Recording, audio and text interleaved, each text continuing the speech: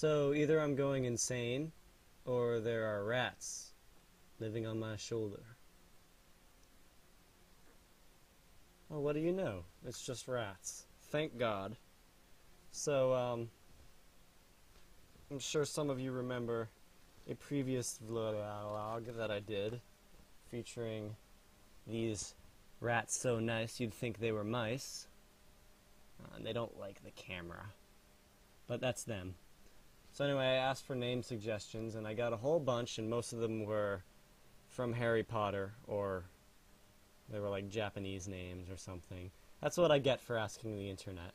But I get I got a um, a cute name kinda from someone named X Downism suggested Comrade Ratley, and I'm just gonna go with the comrade part. So uh, so this rat is named Comrade. Comrade the rat. Don't jump. I'm just gonna put you down for a second. Now, ooh, you okay? I think they're sneezing. I hope they don't have colds. This rat, who as you can see is a different rat, uh, got named by my girlfriend, the wonderful Ming Doyle.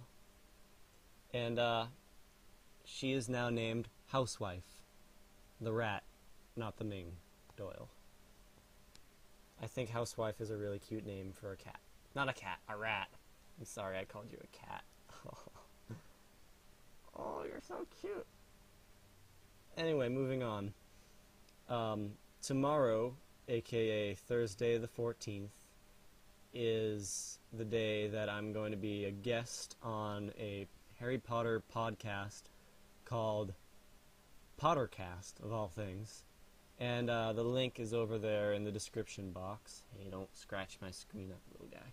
The link is over in the description box, and if you tune in at 6:30 Eastern Time, that's my time, uh, you'll hear me talk at some point and be interviewed by Harry Potter podcasters. Sounds like a good time. I hope you you do it. All right, I'm gonna go play with my rats now comrade and housewife.